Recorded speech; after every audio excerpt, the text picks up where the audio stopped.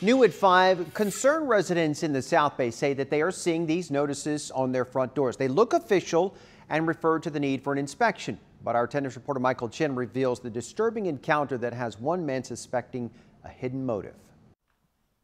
On the first Saturday in May came the first encounter. Off J Street, Tony heard a knock and saw a casually dressed man at his door from a company called Pacific Home Remodeling. He was looking to uh, inspect people's houses uh, for estimates of remodeling costs. Tony, who asked us not to show his face, is a renter and told the man he was not interested. I had to continuously repeat that I was not interested in services. He eventually left.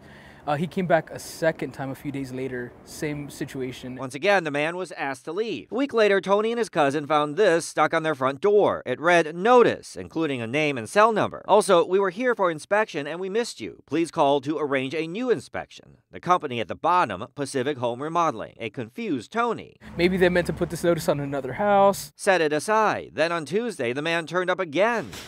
Tony's cousin, the only one home. His cousin was just inside the door when he saw the stranger outside, his hand on the knob, ready to open the unlocked door. Uses my cousin's name and he uses my name and says that we authorized him to come inspect the house and look around. Despite that notice, neither of them had given approval for an inspection. Tony later posted the incident on Nextdoor, neighbors reporting finding the same notices on their doors. One claiming a salesperson tried to talk his way into a home past an elderly woman. A spokesperson with the company says they're looking into Tony's claims, but defended the use of these notices as marketing flyers. Tony doesn't buy it. It's deceptive.